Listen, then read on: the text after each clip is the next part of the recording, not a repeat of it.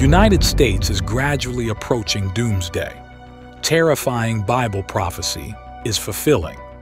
An extraordinary event unfolded during the recent fast of Muslims at Mecca, leading many to perceive it as a prophetic omen, while some view it as a miraculous occurrence. Are these phenomena related to prophetic omens, or does it signal doomsday? Before starting, don't forget to subscribe to the channel. Smash that thumbs up button and press the bell to receive the latest information from the world. Signs of the times, the Christ-like meaning behind insect invasions, in the vast landscapes of America. We have witnessed how the smallest of God's creatures can become heralds of profound change. Consider the gypsy moth, an invader in its own right, whose swarms descend upon our forests and farmlands, transforming lush greenery into barren branches. This moth, not unlike the biblical locust, speaks to us of the delicate balance of creation and the repercussions of our stewardship of the earth. The mountain pine beetle, with its insatiable appetite, carves through the heart of pine forests, leaving behind a legacy of decay.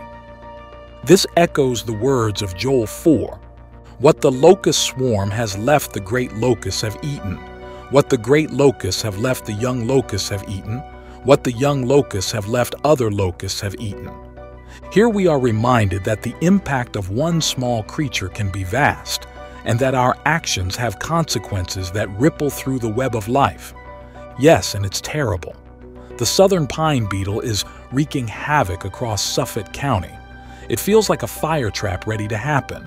The fire ant invasion in the southern realms of the United States, with its fiery sting and relentless spread, prompts us to consider the words of Proverbs 6. 6. 8. Go to the ant, you sluggard. Consider its ways and be wise. It has no commander, no overseer or ruler, yet it stores its provisions in summer and gathers its food at harvest. These ants teach us about community, hard work, and the wisdom of preparation, yet also the challenges when the balance of nature is disturbed by new arrivals. The cotton bollworm, a pest that brings farmers to their knees, mirrors the plague sent upon Egypt, not to bring despair, but to remind us that with faith and perseverance, solutions and salvation can be found. It is a lesson from Genesis 41 where Joseph interprets Pharaoh's dream and stores grain in preparation for famine. It is in these struggles that we are called to seek divine guidance and to find innovative paths to nurture and protect the blessings entrusted to us. And how can we speak of the challenges of nature without mentioning the West Nile virus spread by the smallest of insects, the mosquito? This has brought to mind the plagues that were visited upon the ancient Egyptians, a reminder from Numbers 1649, but 14,700 people died from the plague in addition to those who had died because of Korah. In the face of such trials, we are urged to come together in prayer, science, and community to protect and heal. The Asian longhorn beetle, an intruder from distant lands, speaks to us of globalization's unintended consequences, urging vigilance and unity in preserving our ecological sanctuaries. It evokes the message from Leviticus 25, 23, 24. The land must not be sold permanently, because the land is mine and you reside in my land as foreigners and strangers.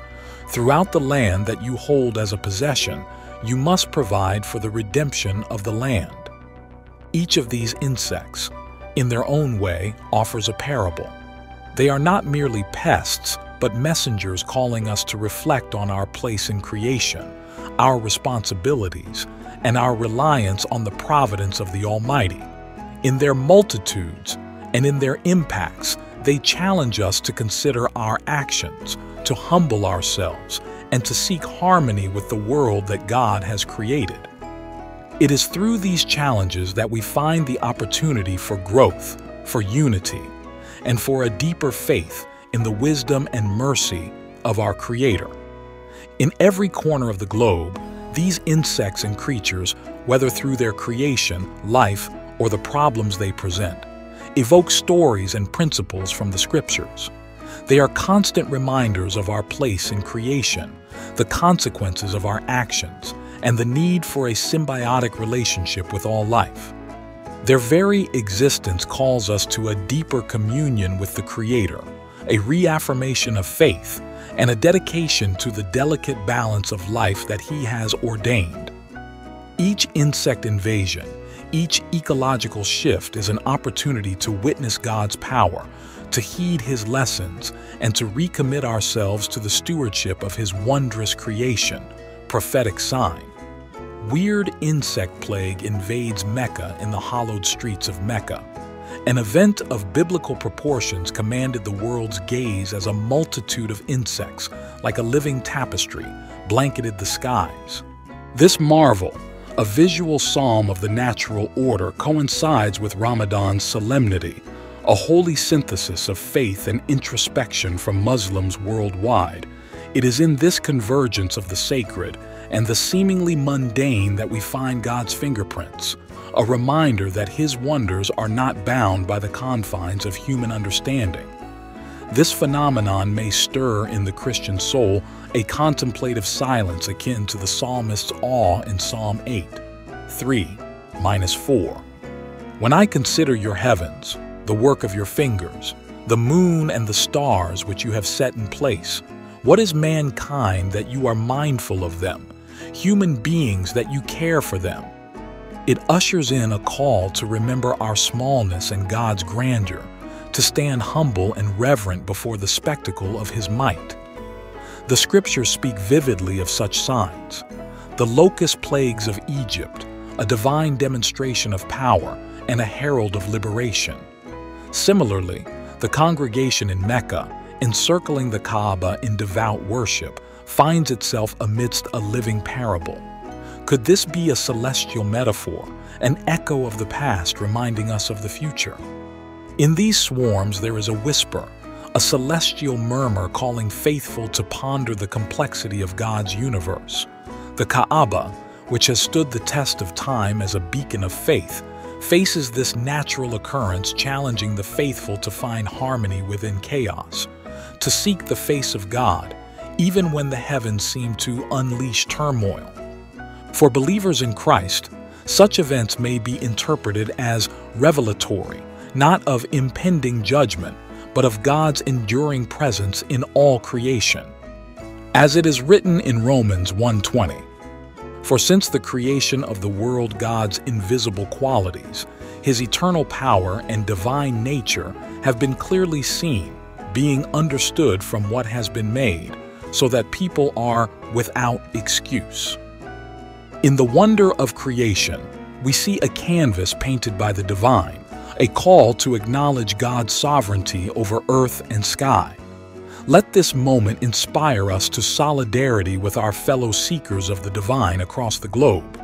Let it be an opportunity to extend the hand of fellowship, understanding that while our paths differ, our awe before the mysteries of the Almighty is shared. Let the lessons of this natural spectacle draw us nearer to the teachings of Jesus, who spoke often in parables, using the elements of nature to impart wisdom and truth. Thus, in the presence of such marvels, we are invited to embrace the humility that Christ himself displayed to serve and love one another as stewards of his creation.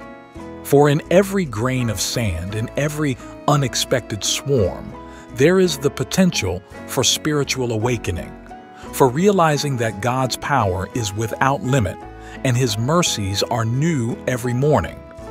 So, as the dusk settles over Mecca and the faithful continue their prayers, let Christians around the world join in contemplation of our own place in God's infinite plan.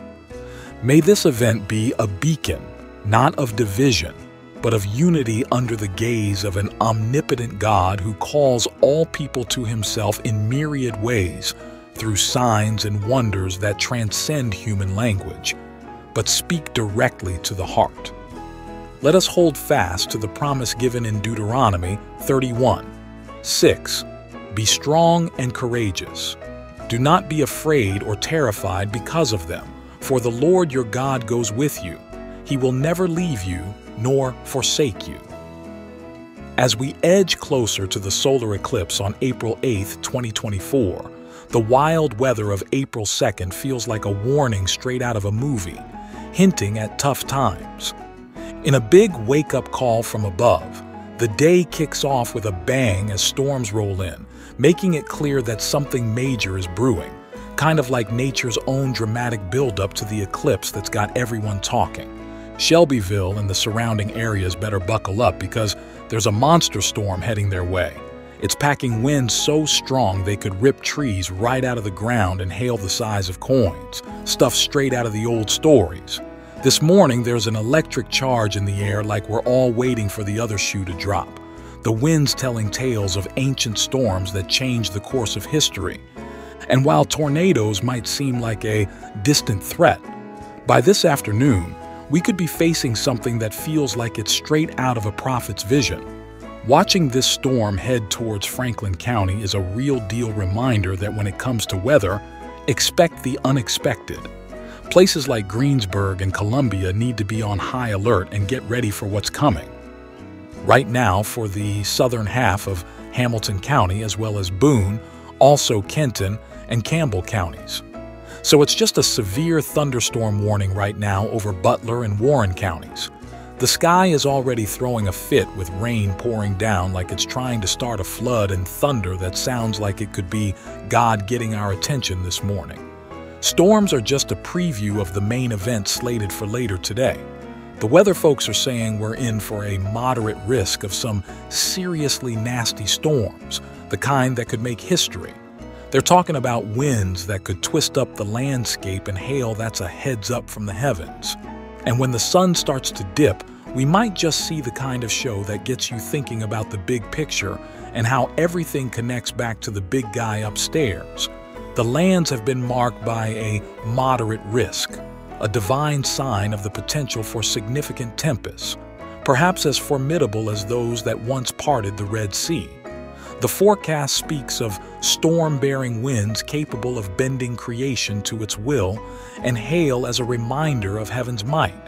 Yet, it is in the afternoon and evening that a crescendo of divine spectacle is anticipated, urging reflection on one's place within God's vast creation and to seek shelter not only from the storm, but in the steadfast love and protection of the Creator.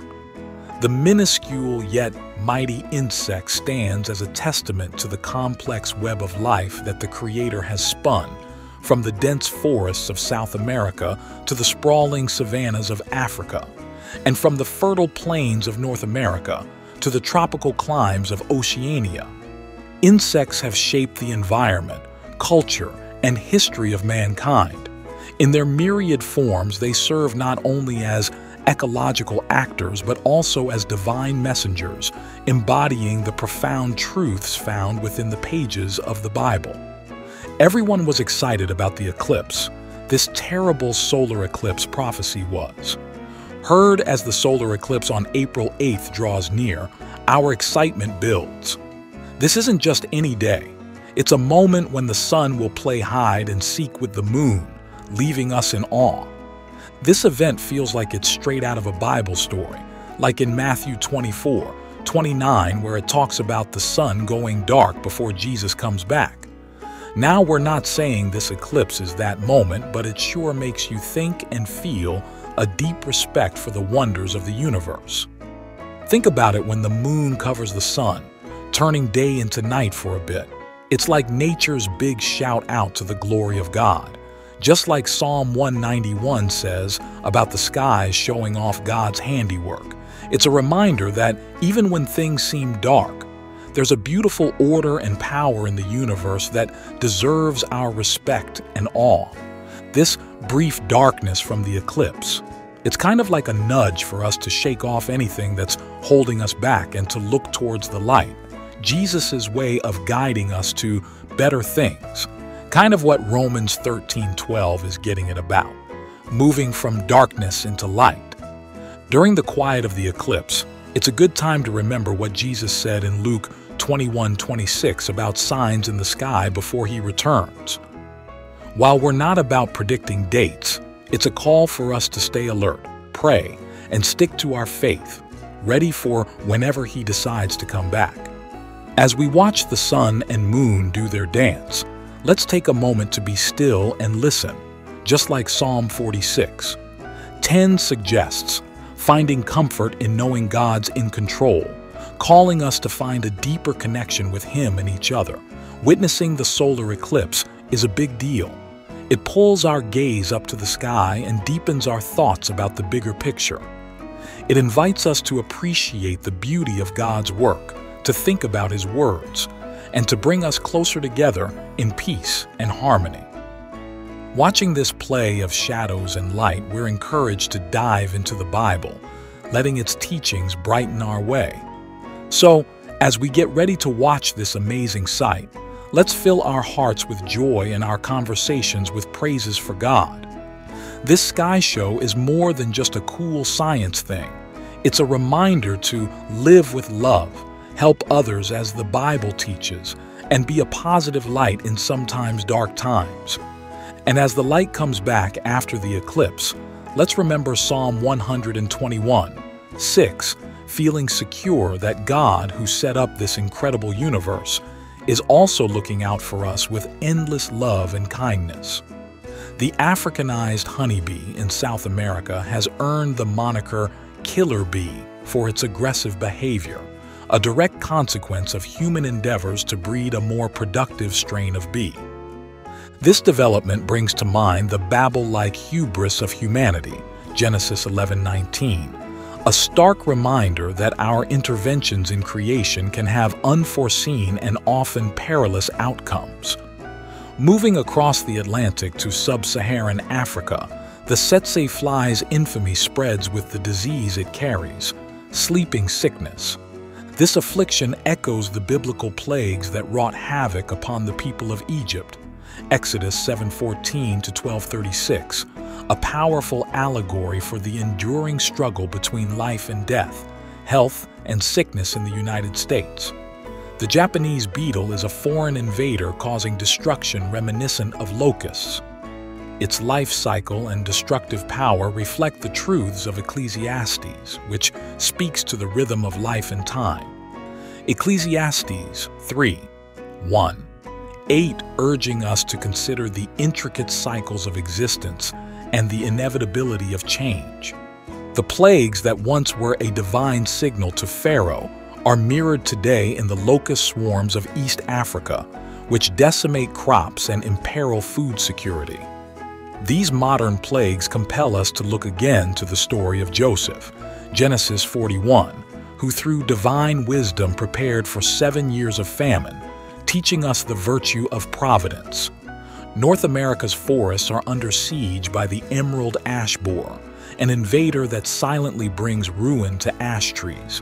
This beetle's path of destruction prompts a reflection on our role as stewards of God's creation, Genesis 2.15, highlighting the need for responsible guardianship of our natural world. Australia's battle against the red imported fire ant illustrates the unintended chaos that ensues from the human importation of species. The situation calls to mind the Tower of Babel's lesson on the limits of human endeavor and the need for divine guidance.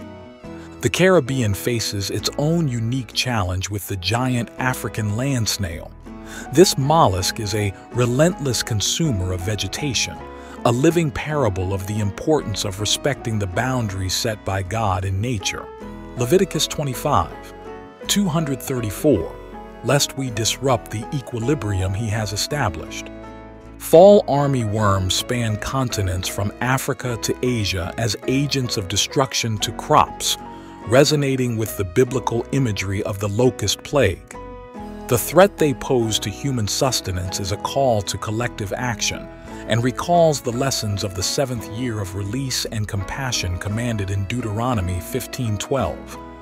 In Australia, the indigenous use of the witchetty grub provides sustenance, showcasing the provision of God's creation and the wisdom of living in harmony with it, much like the Israelites with manna in the wilderness. Exodus 16:31-35. Lastly, the cane toad in Oceania, introduced to control agricultural pests, now presents a problem of its own. This outcome serves as a modern-day illustration of the law of unintended consequences, echoing the need for foresight and humility in our interventions, values deeply rooted in the wisdom literature of the Bible, Proverbs 19, 2.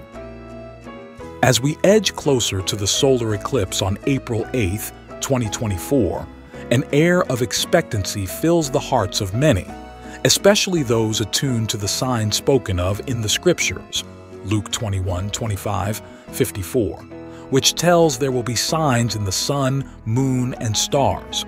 On the earth, nations will be in anguish and perplexity at the roaring and tossing of the sea.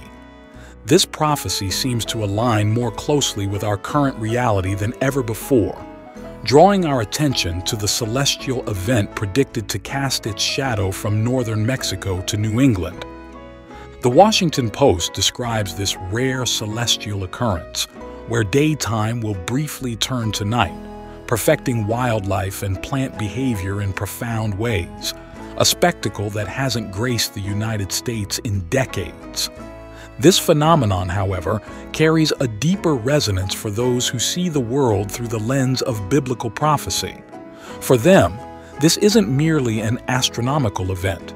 It's a moment imbued with divine significance, possibly a harbinger of God's message to humanity. Harbinger Daily's exploration into the 2024 solar eclipse, viewing it as a potential final warning, draws parallels to historical occurrences such as the New Madrid earthquakes of the early 1800s. These events, marked by two eclipses that formed an X across the U.S., preceded the most significant earthquakes in American history, leading some to ponder if the upcoming eclipse heralds impending catastrophe. In these tumultuous times marked not only by natural wonders, but also by environmental catastrophes, wars, rumors of wars, and reports of celestial anomalies, it's crucial to approach these events with a spirit of preparedness rather than fear. The scriptures offer guidance, pointing out signs of the times, including the rise of deception, the proliferation of false teachings, wars and conflicts, and supernatural signs in the heavens. These biblical motifs serve as pieces of a larger puzzle revealing the picture of a world inching closer to the pivotal moments prophesied about Christ's return. Recent years have seen an array of events that resonate deeply with biblical prophecies, stirring discussions among scholars and believers about their significance and what they may herald for the future.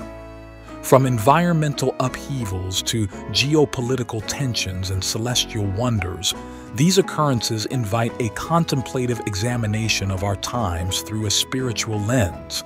The increasing frequency and intensity of climate-related disasters, melting polar ice caps, record-breaking temperatures, severe droughts, and devastating floods mirror the prophetic descriptions found in Revelation hinting at the beginning of birth pains mentioned in Matthew 24.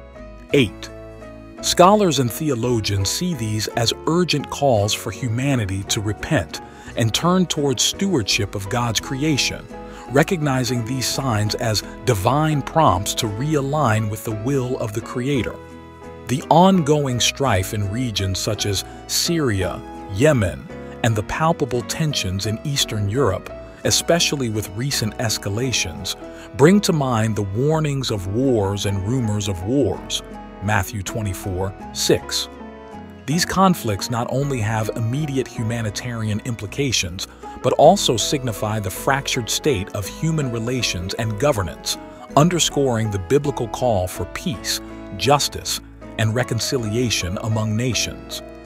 The surge in reports of rare astronomical events like the blood moons, solar eclipses, and the unique alignments of planets serves as fodder for scholarly debate on their prophetic significance.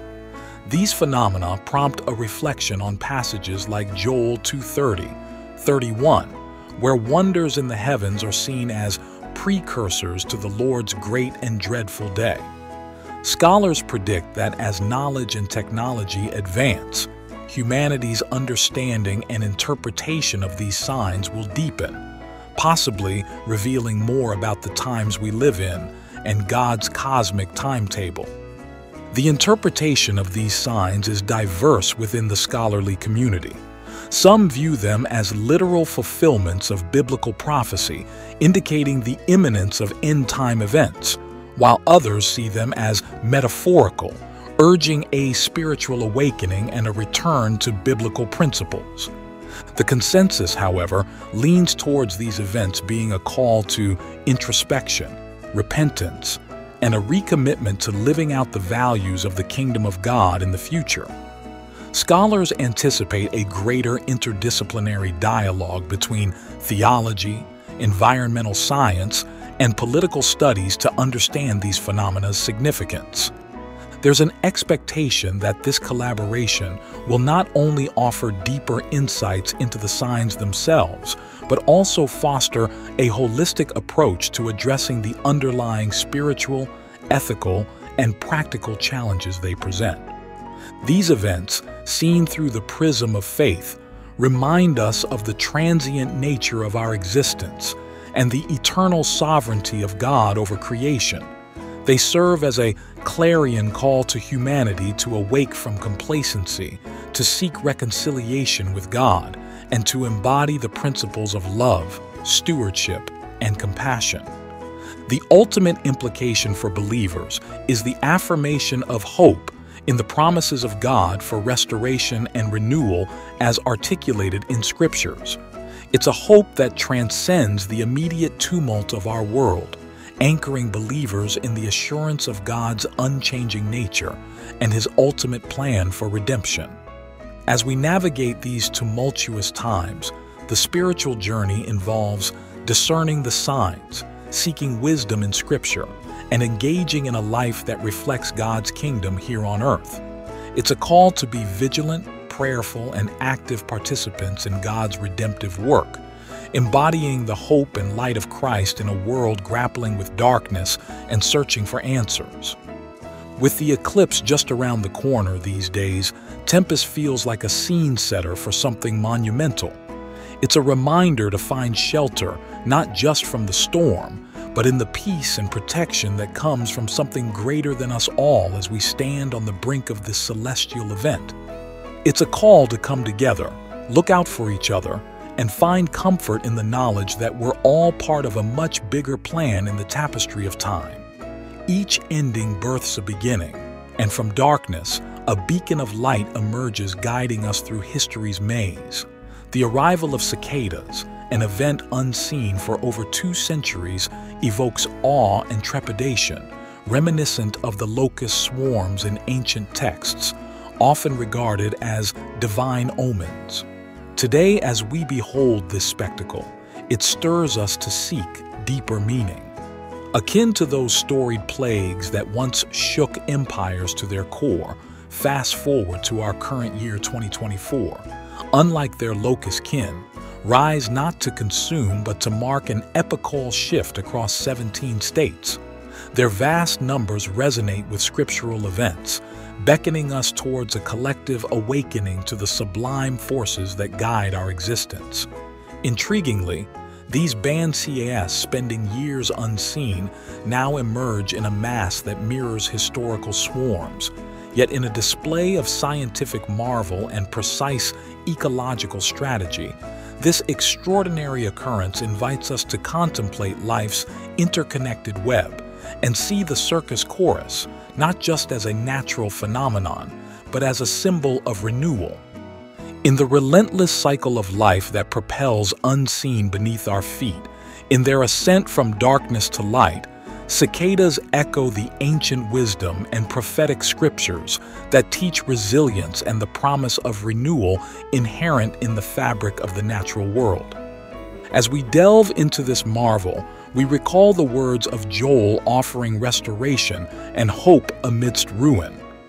The cicada's emergence is not merely a reminder of the world's innate resilience, but also a metaphor for our own spiritual rebirth.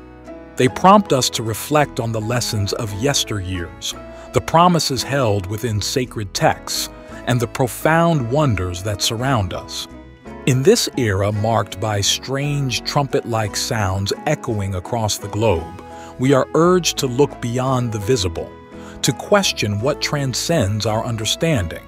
Such sounds, recorded in over 50 instances and drawing the world's rapt attention, challenge our notions of reality and spirituality.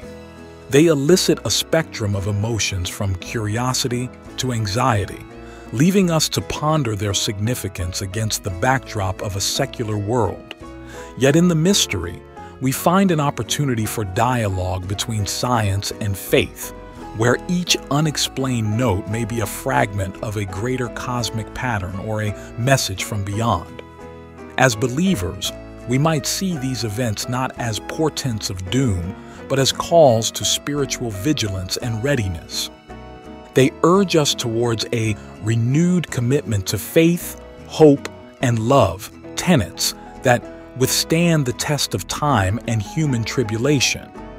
In the narrative of Revelation, the sounding of the trumpet signifies transformative events, a divine call to awaken to the spiritual battles that lie beneath our temporal struggles. As we witness such signs, let them not instill fear, but reinforce our resolve to stand firm in our faith to be deacons of resilience, and to remain open to the transformative power of God's grace. In this moment of reflection amidst unfolding mysteries, let us unite in prayer seeking guidance through the present. Shadows may this prayer galvanize us to embody God's love on earth, to dispel divisions, and to illuminate the dark corners of this world with unity and compassion. For in his promise we find the strength to face the future, assured that we walk never alone but side by side with the Almighty who whispers life into the cosmos and breathes hope into our hearts. In faith, not fear, let us stride into the embrace of the divine, seizing the trials and blessings of this moment as fertile soil for growth and servitude. In unwavering commitment, we trust in the Lord's intricate plan, open-hearted to the paths he carves through us. May the love of God shine through our actions as we stand for justice and truth, embodying the gospel's essence through our words and deeds. In the divine cycle of giving and forgiving, we are reborn into the promise of eternal life. As this prayer reaches its crescendo, let us integrate its sacred essence into the fabric of our daily lives. The phenomena that envelop us, be they prophetic signs or Earth's natural cadence, summon us to a profound communion with our faith and the greater cosmos.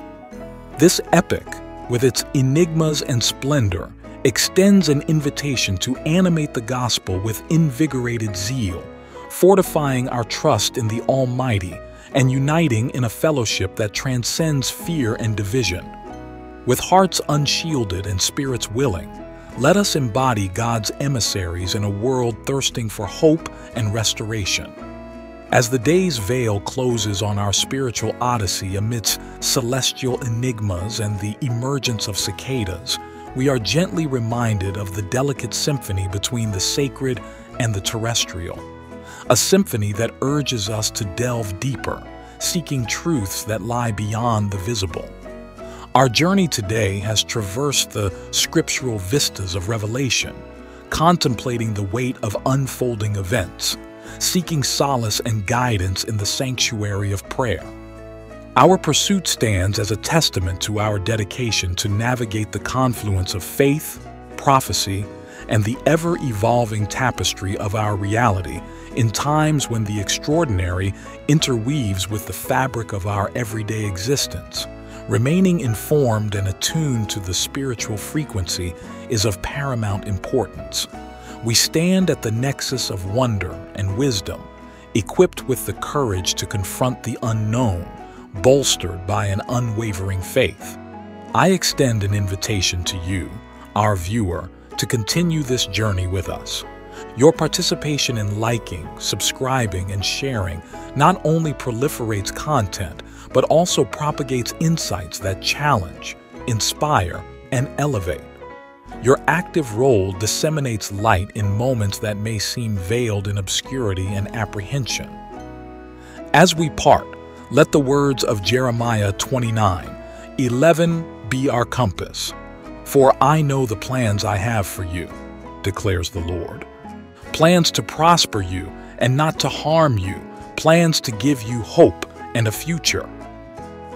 Let this divine assurance steer us through the labyrinth of life, recognizing that within each uncertainty lies purpose, within each trial a lesson, and within each. Thank you for watching. If you like this video, don't forget to press the subscribe button and ring the bell to receive notifications about the latest videos from our channel.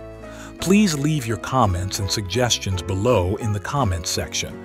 And don't forget to share this video with your friends. We appreciate your support and hope to see you again in the next videos. Have a great day and see you soon.